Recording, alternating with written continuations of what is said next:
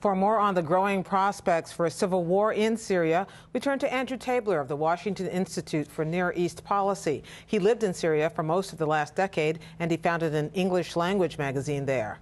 And Mona Yacoubian, she lived in Syria as a Fulbright scholar during the mid 1980s. During the 1990s, she was an analyst at the State Department and is now with the Stimson Center, a Washington research organization.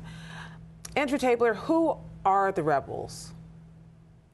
Well, there, there, there's the um, the civilian uh, opposition, of course. The, the ones who are you're seeing concerning the attacks, that's those are the Free Syrian Army and their affiliates, and those include um, defectors from the Syrian Army uh, who went to Turkey, uh, defectors from the Syrian Army who now operate within the country uh, with the opposition, and then sort of local uh, FSA affiliates. Um, which is sort of like the equivalent of, of, of, sort of Minutemen during the American Revolution who carve out protest space and protect protesters. And they are increasingly carrying out attacks against the Assad regime um, throughout the country. Mona Yacoubian, whenever we have seen uh, yet another regime fall or at least attempt to be overthrown, we've seen these rebels spring up, but how do we know they're not fighting each other? Well, we haven't had reports of rebels fighting each other at this point in Syria, but it's also clear that there's no centralized command and control, and that the situation on the ground, frankly, appears to be getting increasingly chaotic, as noted by your report. Is there a sectarian split that's at work here? Clearly, there's a sectarian uh, issue at play in Syria today. Uh, the, the regime is, is an Alawite regime that's a minority regime. Uh, the rebels are largely Sunni, and so we're seeing increasingly that the, the battles on the ground take on a sectarian character. We've had massacres, for example, uh, in the recent weeks of uh, civilians, largely Sunni, and it is alleged that uh, government paramilitary forces that are Alawite, the same sect as the president, have undertaken those attacks. So clearly, there's a sectarian dimension to the violence in Syria, and it appears to be growing. Andrew Tabler, there's been much discussion on uh, here in, in, Washington about what the U.S. or other countries should do to remove Assad. But where do we think the money is coming from, or the aid is coming from, to help that happen by supporting these these rebel groups? Uh, the money's coming from the Arab Gulf. Um, Qatar and Saudi Arabia's names are often uh, put forward, as well as that of Turkey. Um, the exact trail is is unclear, but the the the, the kind of weapons that are in, they're entering Syria are growing increasingly sophisticated. It seems um, there's a lot more light arms, and um, and the, the kind of opposition that the that the FSA is putting across to the regime is, is increasingly effective. It's this game of what they call whack-a-mole, uh, like the carnival game, where elite divisions try to go into areas, reassert their control. They do so temporarily. They have to go somewhere else and chase the mole. Um, and then, of course, the protesters and the armed elements come back up in those areas. And that's why the regime is resorting to shelling, resorting to helicopter gunships, and the situation is worsening and more people are dying. So, so the regime is frustrated in a way uh, with this whack-a-mole strategy, but is the kind of support that these uh, rebel groups are having, are, are getting from outside Syria, is it enough to overthrow the regime? Well, it can certainly wear it down, um, but the, the Russians and the Iranians continue to resupply the regime. So they can, you know, the regime can hold on for some time, but not hold on like it did before, like sort of like the regime uh, did in Algeria in the 90s. But of course, unlike Algeria, it's not at the center of the Middle East. It doesn't have all that oil revenue. Um, and of course, you have a lot of the rebels uh, receiving a lot of support from the outside. So we're in for a very, very long fight in Syria uh, in the coming months and perhaps even years. Mona Yacoubian, so far the United States' role has been limited to non-lethal aid, and there has been no effort to get on the, in the in the battle directly.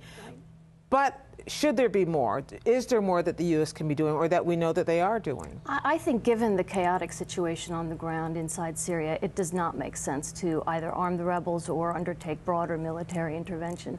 I think we're looking at a situation that is increasingly unpredictable. It would be very difficult, for example, to uh, assert that arms are getting in the right hands.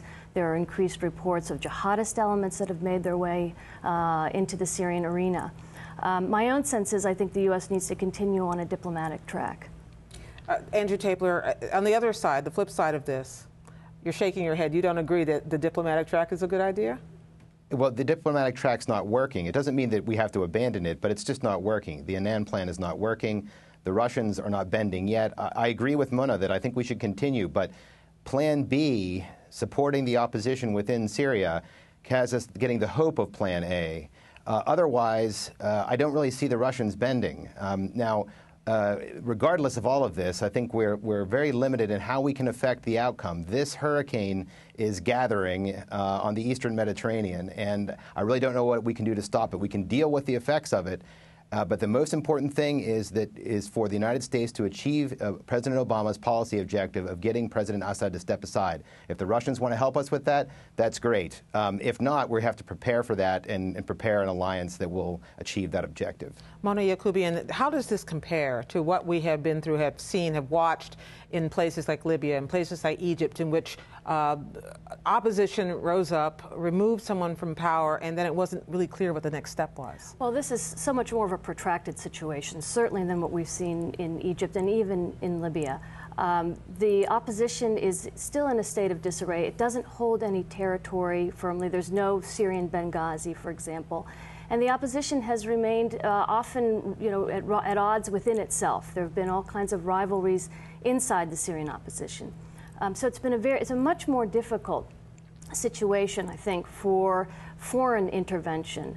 Um, the, the, one point I would, I would sort of push back on with Andrew is, in some ways, we may very well be at that tipping point into uh, a, a long and drawn-out sectarian civil war, and this may be the last best chance for diplomacy. It may well be that the Russians and the United States come together and work out a plan that, in fact, put Syria on a track toward a more stable transition. And Andrew Tabler, finally, what do you see uh, that there is a successor, perhaps, uh, in line, or is there any clear plan if some, suddenly this non-lethal aid were to work and the rebels were to triumph? Uh, I don't think we're quite there yet. I mean, you, would have to, if you really want to put a Yemen kind of plan in, in, in place, you'd have to think about who could step into that.